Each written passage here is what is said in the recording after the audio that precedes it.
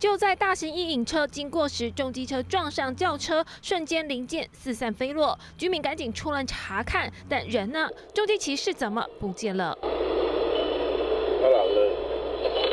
救护人员开车到场，第一时间也在奇怪地上怎么没有伤者，直到前面有人对救护人员招手。回家，回家，回家，回家，老回家，不要哦，不要哦，好离奇哦。他飞到这个车上，竟然出现在四十公尺远的工程车上。再回头看看监视器，瞬间黄色工程车正巧经过事故现场，把被撞飞的骑士给接下来。如果是直接重摔在地，恐怕伤势会更严重。这是我们预警分队手势啊，接货就是到现场没有找到患者了哈。